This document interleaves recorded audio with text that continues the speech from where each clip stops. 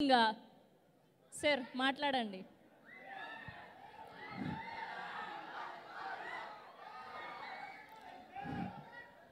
తరలిరాద తనే వసంతం. తన దరికి రాని వనాల కోసం. నా చిన్నప్పుడెప్పుడో చూసిన బాస్ పాట. అసలు నేను ప్రొడ్యూస్ రావడమే ఎనిమిదో వింత. నా ఫంక్షన్కి బాస్ రావటం పదో వింత. తొమ్మిదేంటో మర్చిపోయా.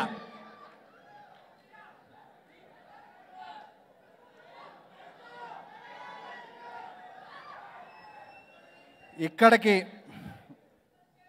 మమ్మల్ని ఆశీర్వదించడానికి వచ్చిన మా దైవం మెగాస్టార్ బాస్కి నా తోటి మెగా అభిమానులందరికీ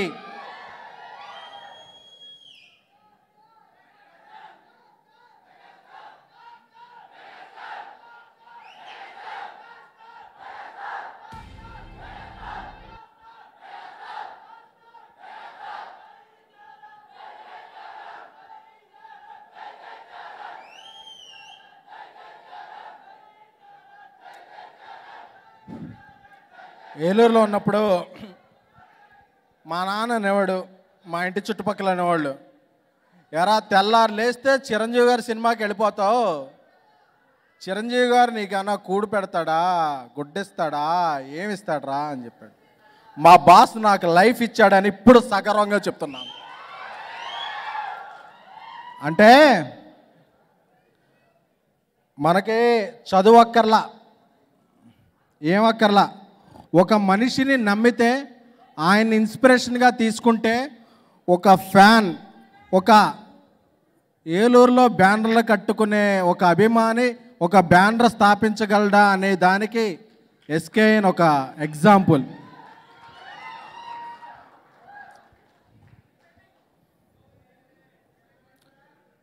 బ్యానర్స్ మీద కొటేషన్ రాసేవాడిని నేను. టాక్ లేకుండా టౌన్ రికార్డులు డివైడ్ టాక్తో డిస్టిక్ రికార్డులు సైలెంట్ టాక్తో స్టేట్ రికార్డులు సాధించే సత్తా ఒక్క మెగాస్టార్కే సొంతం అని. నాకు వచ్చిన ఎడ్యుకేషన్ ఏంటంటే మెగాస్టార్. నేను చేసిన అచీవ్మెంట్ ఏంటంటే మెగాస్టార్. అంటే నాకేం తెలియదు ఇంట్లో చెప్పేవాడిని. నా చదువు అయిపోయాక చిరంజీవి గారి దగ్గరికి వెళ్ళిపోతానని చెప్పేవాడిని. వాళ్ళు నన్ను ఒక పిచ్చోళ్ళ చూసేవాళ్ళు. ఈడేంటి చిరంజీవి గారి దగ్గరికి వెళ్ళిపోవడం ఏంటి అని చెప్పి. అలాగే వచ్చా.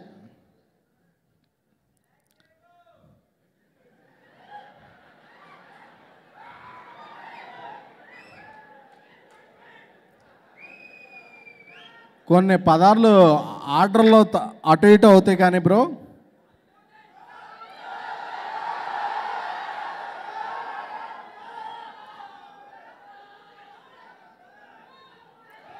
అంటే బాస్ మా ఫంక్షన్ రావడం ఏంటి?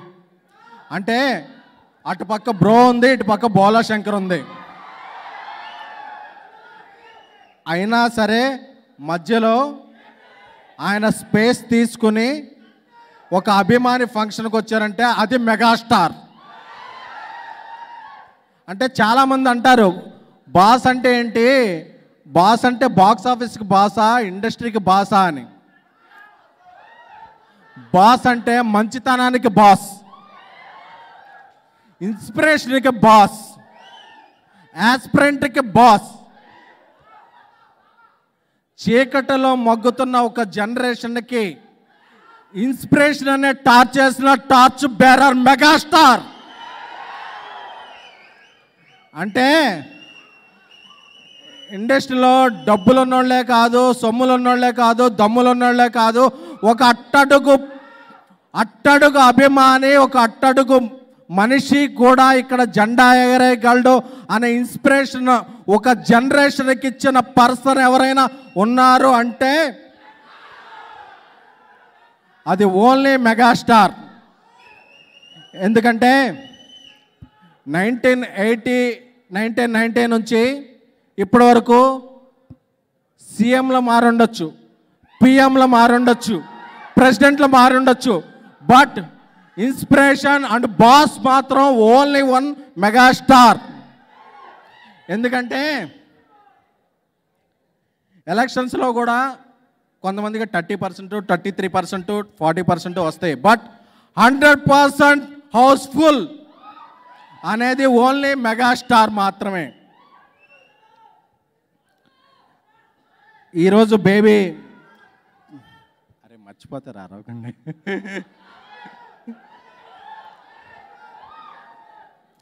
బేబీ టూ వీక్స్లో సెవెంటీ ఫైవ్ క్రోర్స్ కలెక్ట్ చేసింది. నాకు ఎంతటి సక్సెస్ ఇచ్చిన డైరెక్టర్ ఎవరు అంటే నేనే అడ్వాన్సులు ఇచ్చిన ప్రొడ్యూసర్ని కాదు అడ్వాన్స్డ్గా ఆలోచించి నా ఫ్రెండ్ ఒకడు మంచి టాలెంట్ ఉంది. ఈడెప్పటికైనా పెద్ద డైరెక్టర్ అవుతాడని నమ్మిన ఇరవై మూడు సంవత్సరాల క్రితం నమ్మిన నా Sai Rajesh is mega fan. తను నెల్లూరులో ఉండేవాడు నేను ఏలూరులో ఉండేవాళ్ళం. అంటే మాకు ఇండస్ట్రీకి రావాలంటే మేమందరం చాలా మా నాన్న ఒక రైల్వేలో పనిచేసేవాళ్ళు వాళ్ళ ఫాదర్ ఒక సాధారణ ఎంప్లాయ్. మేమందరం కూడా ఇండస్ట్రీకి రావాలంటే మాకు ఒక అంటే మాలాట వాళ్ళు కూడా ఇండస్ట్రీకి రావచ్చా ఆ రైలు ఎక్కచ్చా అనే దానికి ఒకే ఒక ఇన్స్పిరేషన్ మెగాస్టార్ చిరంజీవి గారు.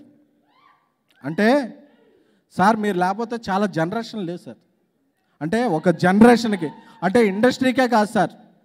Not only film industry ఒక టెన్నిస్ అవ్వచ్చు బ్యాడ్మింటన్ అవ్వచ్చు ఎంతోమందికి కూడా ఒక మిడిల్ క్లాసోడు పైకి ఆలోచించవచ్చు ఆకాశం వైపు చూడొచ్చు అనే దానికి ఉత్ప్రేరకం ఎవరు ఉన్నారంటే one and only megastar Chiranjeevi garu.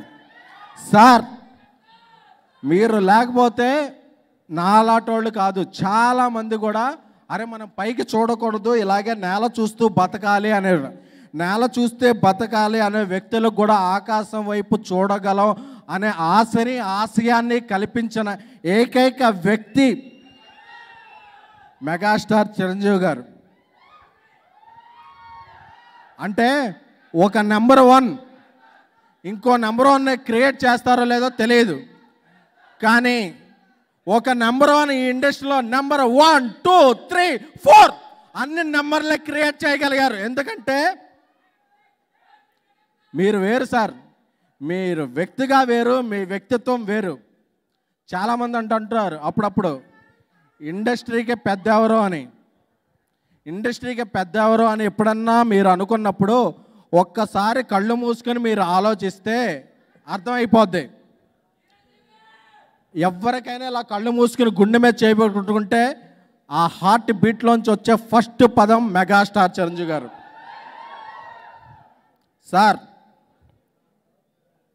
I love you sir అంటే ఫ్యాన్స్ అంటే ఏదో థియేటర్ల బయట బ్యానర్లు కట్టి ఆ టిక్కెట్లు కట్ చేసుకుని ఆ హౌస్ఫుల్ రోడ్ పెట్టుకునే వ్యక్తులు అనుకునే జనరేషన్ నుంచి చిరంజీవి గారు ఫ్యాన్స్ అంటే వాళ్ళు ఒక స్థాయికి ఎదగగలరో ఎదిగి చూపించగలరో అనే మాకు ఇన్స్పిరేషన్ ఇచ్చిన వ్యక్తి సార్ మీరు. సార్ ఒక ఆస్కార్ దాకా వెళ్ళగలిగిన ఒక స్టార్ని ఇచ్చారు మాకు. ఒక పాన్ ఇండియా దాకా వెళ్ళగలిగిన ఒక స్టార్ని ఇచ్చారు మాకు.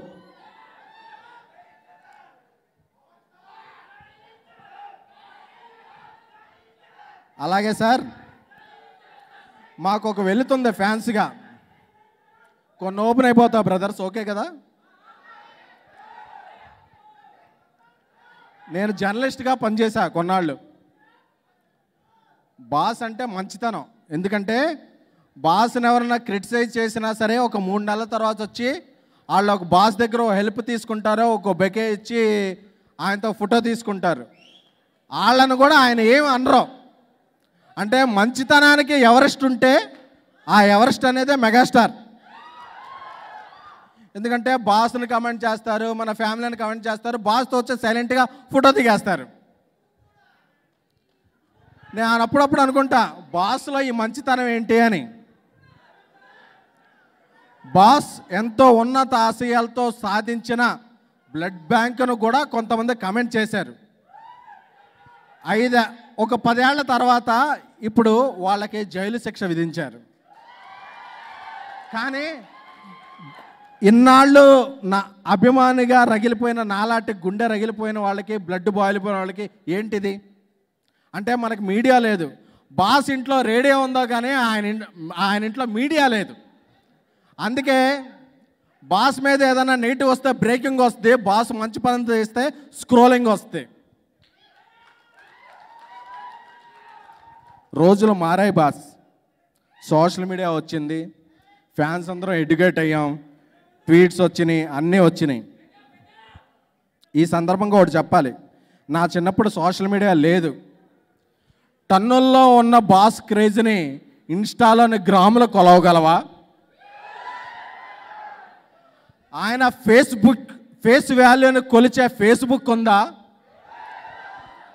ట్వీట్స్కి తెలుసా ఆయన సక్సెస్ రూట్స్?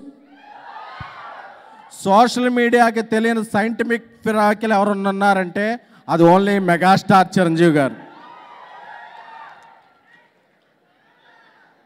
సార్ మీరు వేరు సార్.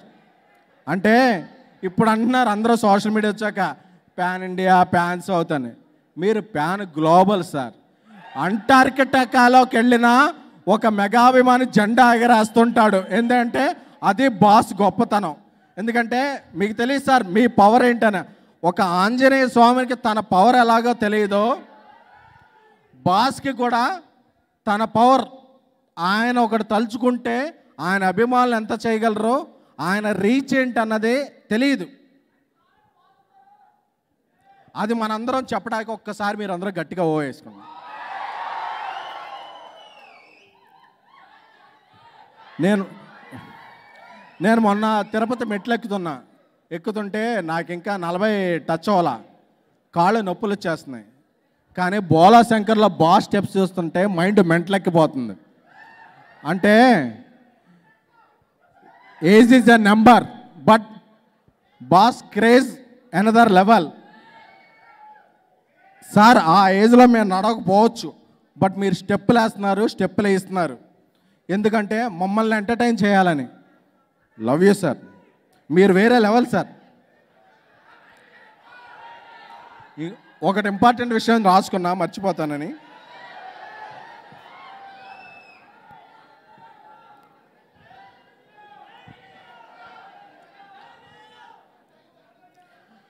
ఇప్పుడు మనం ఏదన్నా సినిమా రిలీజ్ అవుతుంటే బుక్ మై షోలో టికెట్ బుక్ చేసేసుకుంటుంటాం. కానీ బాస్ సినిమా రిలీజ్ అవుతుంటే రాత్రి రెండింటికి ఇంట్లోంచి బయటకు వచ్చి నాలుగింటికి షో పడుద్దంటే మూడు చొక్కాలు తెచ్చుకునేవాడిని. ఎందుకంటే నాలుగు షోలు చూడాలంటే ఆ లైన్లో నించుంటే చొక్కాలు గ్యారంటీగా చిరిగిపోతాయి కాబట్టి మూడు చొక్కాలు చిరిగిపోతాయి అని చెప్పి మూడు చొక్కాలు తిరగబడి ఆ రోజు నాలుగైదు షోలు చూసుకుని నైట్ ఇంటికి వెళ్ళేవాడిని. అది బిగ్ బాస్ క్రేజ్ అంటే. అందుకంటే కొన్ని జనరేషన్ తెలియదు సార్. అందుకే చెప్తుంటా బాస్ రా బచ్చాస్. సార్ నేను ఇండస్ట్రీలో ఈ స్టేజ్ మీద ఇలా నిలబడ్డానంటే నేను చదువుకున్న డిగ్రీయే సార్. ఎప్పటికైనా బాస్ దగ్గర వెళ్ళిపోవాలి. బాస్ ఫ్యాన్స్ అంటే అందరూ అలా ఇలా అనుకుంటున్నారు. బాస్ పేరు నిలబెట్టాలి అని చెప్పి నేను ఒక సినిమా తీయ నేను అంత కెపాసిటీ లేదు కాబట్టి ఫస్ట్ జర్నలిస్ట్గా ఒక పిఆర్ఓగా తర్వాత కో ప్రొడ్యూసర్గా తర్వాత ప్రొడ్యూసర్గా అంచెలంచెలుగా ఎదిగింది ఏంటంటే ఎప్పటికైనా సరే ఫ్యాన్స్ అంటే బ్యానర్లు కట్టేవాళ్ళు కాదు బ్యానర్లు పెట్టేవాళ్ళు అని చెప్పి మీలో ఒకటిగా నిరూపించుకోవాలనే ఈరోజు నేను వచ్చా. కొంతమంది అంటుంటారు ఎందుకు నువ్వు మెగా బాస్ అంటే సక్సెస్ వచ్చాక అది తగ్గించేయి నువ్వు ఇండస్ట్రీతో పనిచేయాలి అని. శ్రీరామం అంటే పానకం. బాస్ని చూస్తే నాకు పోనకం. అంటే మొన్నప్పుడు ఐకాన్ స్టార్ ఒక మాట చెప్పారు అల్లు అర్జున్. కట్టె కాలే వరకు బాస్ ఫ్యాన్ అని. అలాగా సక్సెస్ వస్తే ఒక మాట సక్సెస్ రాకపోతే ఒక మాట చెప్పను.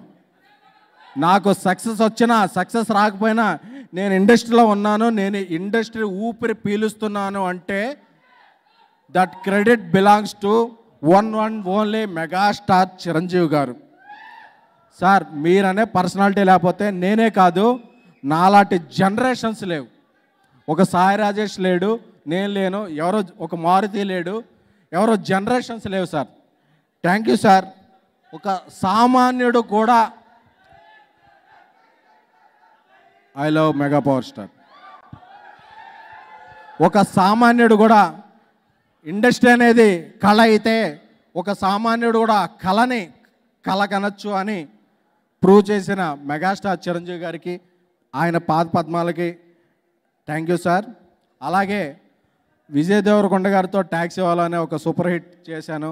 ఆనంద్ దేవరకొండ గారితో బేబీ అనే ఇది చేశాను. నన్ను అందరూ ఇక్కడ వాళ్ళ ఫాదర్ మదర్ ఉన్నారు. వర్ధన్ గారు మాధవ్ గారు ఎస్కేఎన్ దేవరకొండ అంటున్నారు.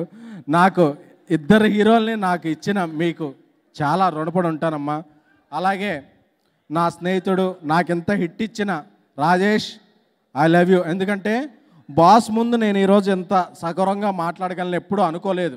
వేరే ఎవరెవరైనా చేస్తున్నా వాళ్ళ సినిమాలకు ముందు మాట్లాడేయాలనుకునేవాడిని. నన్ను బాస్ ముందు నిలబెట్టి మనకు అభిమానులుగా సాధించామంటే ఈ సినిమా ఎంత కలెక్షన్ చేస్తుంది అనేది నాకు తెలియదు బాస్ ఈరోజు వచ్చారు. ఇంకా లైఫ్ టైం అచీవ్మెంట్. నేను చచ్చినా చచ్చి పుట్టినా కూడా మెగాస్టార్ అభిమాని. Thank you thank you thank you love you boss thank you SKN garu. I request to be here only మిమ్మల్ని వేదిక మీద